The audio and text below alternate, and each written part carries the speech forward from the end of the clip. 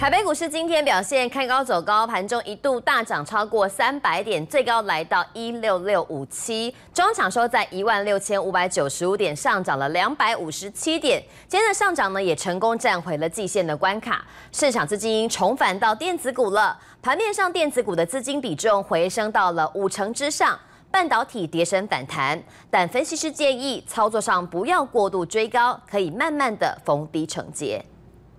全台疫情三级警戒，空荡荡的街头几乎已经成为疫情日常。台股似乎也调整好步调，开盘上涨一百零六点，盘中大涨超过三百点，开高走高，收复季线，最终收在一万六千五百九十五点，涨幅百分之一点五七，成交量五千两百七十三亿元。整个反弹的气势相当的强。我们如果从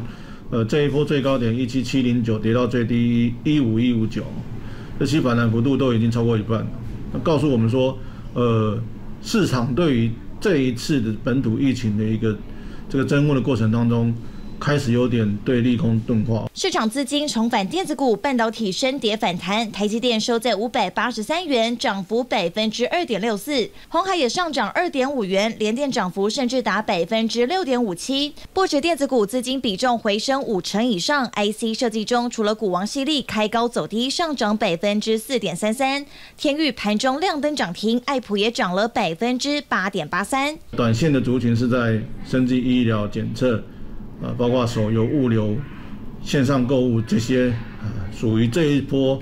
整个本土疫情增温的过程当中，相对社会有题材性的这个族群哦。不过，反观之前人气指标航运类股倒是涨多拉回，万海、长荣、阳明纷纷收黑。分析师也提醒，指数弹升后可能会再开始震荡，投资人不要过度追高，采取慢慢逢低承接，并关注本土疫情发展。东森财经新闻科黄明台北报道。而最近在台股盘面上，这个宅经济概念股跟宅配概念股表现也都非常的强势。因为呢，很多人现在都利用网购来买东西。不过目前电商平台 Momo 说了，宅配厂商反映要取消万华全区以及板桥中和部分区域大型家电的预约安装，而 PC Home 也跟进这个动作。暂停双北五大地区提供配送大家电的服务，但民众说了，其实九九才买一次大家电，现在也不方便让外人到家里面来安装，所以并不会有太大的影响。货运司机将一箱箱货物搬了下来，疫情持续延烧，也让物流的送货需求大爆发，但未来大家电将会暂停配送部分地区。可以看到物流中心这边呢停满了货柜车，而现在呢我所在的这个位置，也就是中和这边地区的民众，如果想要订购大型家电的话，恐怕会被部分的电商平台给拒绝。PC Home 针对万华、板桥、中永和、泸州等五大地区暂停大型家电的安装，而 Momo 也宣布万华全区以及板桥、中和部分区域将会暂停大家电的预约配送。当然，从那个。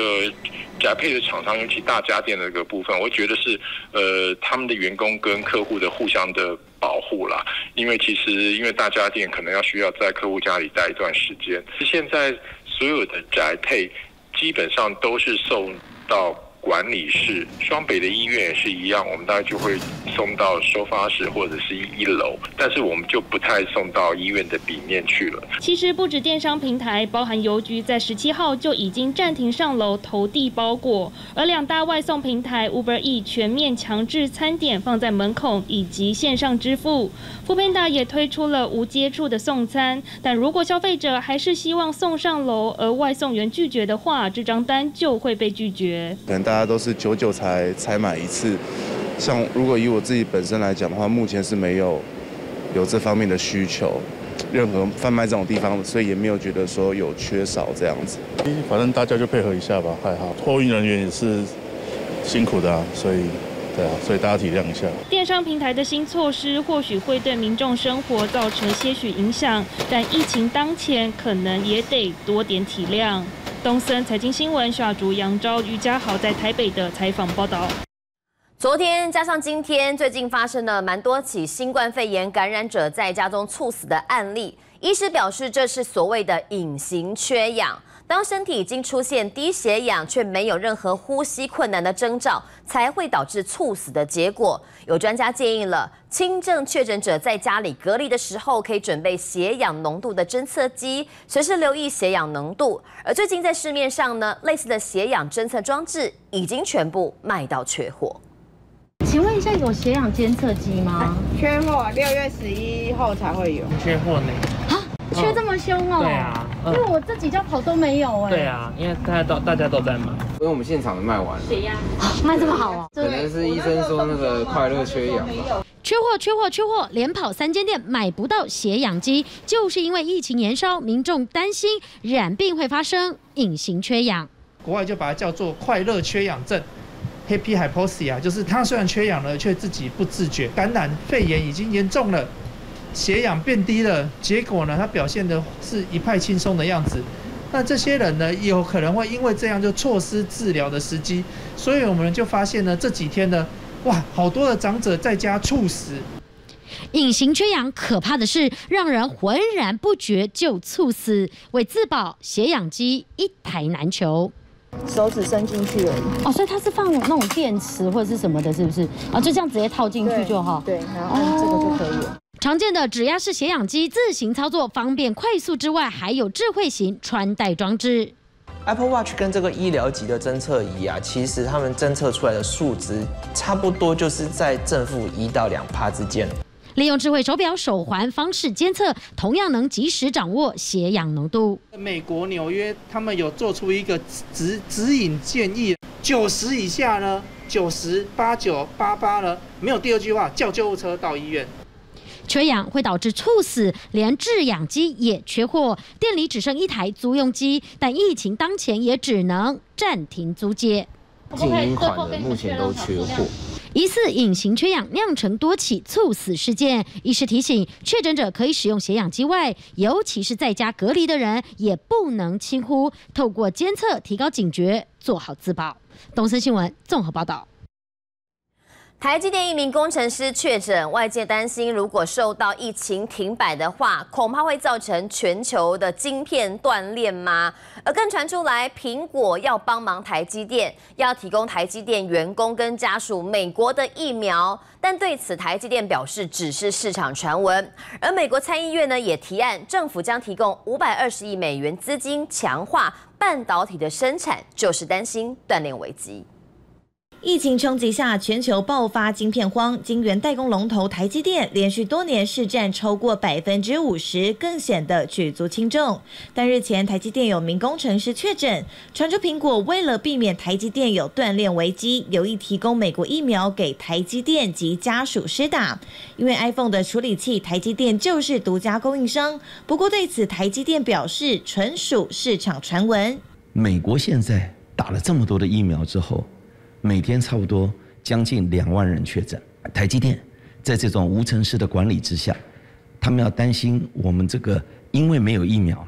而导致晶圆的供应链有问题，我觉得有点反应过度。台湾疫情牵扯整个产业，引发国际关注。根据外媒彭博社报道，台湾最近因为确诊病例激增，加上缺乏疫苗等问题，面临卫生紧急状况。尤其目前台湾只有大约百分之一的人口完成疫苗接种，这可能会影响晶片生产，进而使全球供应受到挤压。先前美国在一九九零年代生产半导体与微电子产品产量在全球占比达百分之三十七，如今只有百分之十二的半导体是在美国生产。为了增加产量，美国商务部长雷蒙多表示，政府将提供五百二十亿美元资金，强化半导体生产和研发的提案，可能会促使美国本土新设。力七到十座工厂。我永远相信一件事：台湾的民众自我意识高，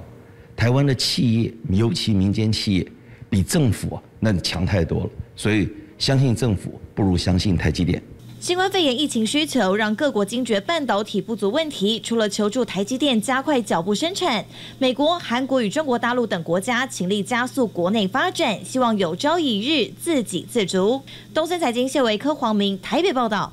除美国在积极打疫苗之外，日本东京也要加快进度了，因为距离东京奥运开幕不到两个月。日本开始大规模的展开疫苗接种计划，分别是在东京跟大阪，而第一天共有超过七千个人完成接种，大部分都是老人家，希望抢在东京奥运开幕之前提升低迷的疫苗接种率。而有学者估算一下，如果东京奥运增加人潮移动，到了九月初，东京的单月新增确诊人数可能会比停办奥运还要增加一千四百例。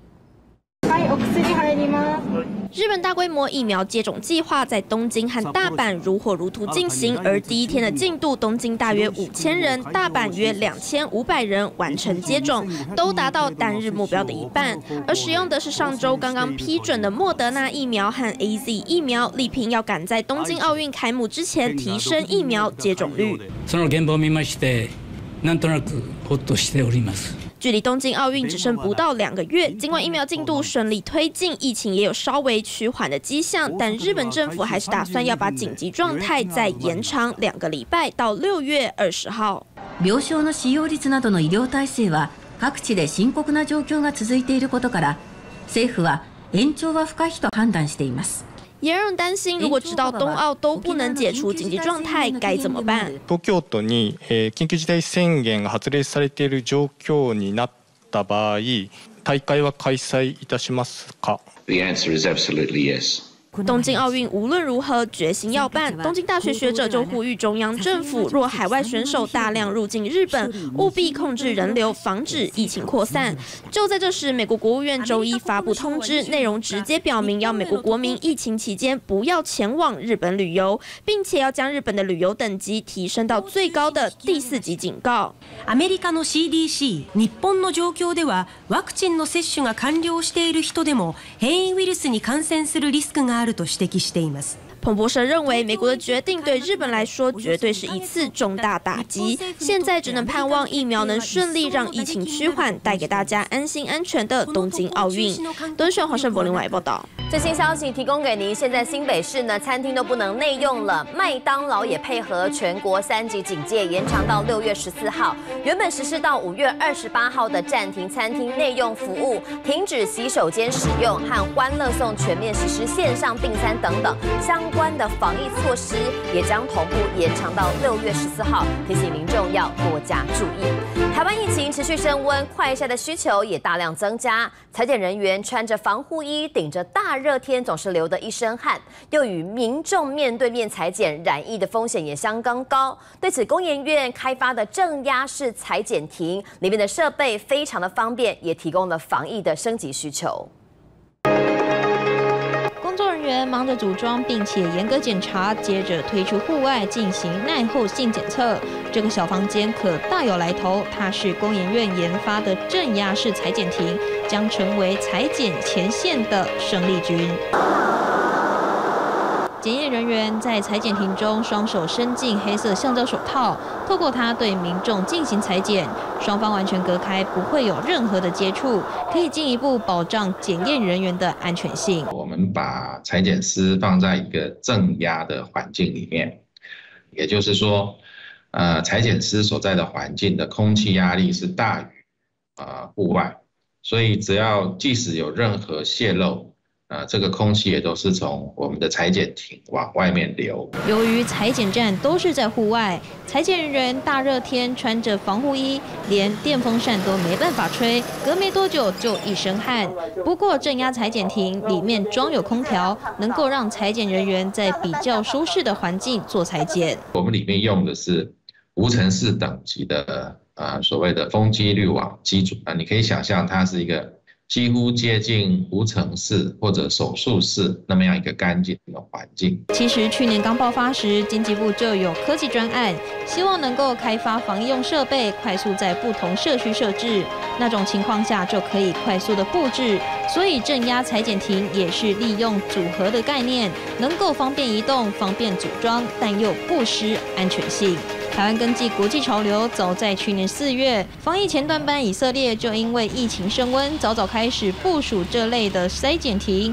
让裁剪人员和受检民众彻底隔开。现在因为台湾出现大量需要快筛的民众，镇压裁剪亭的投入，只盼能够降低检验人员的辛苦与劳累。本新闻综合报道。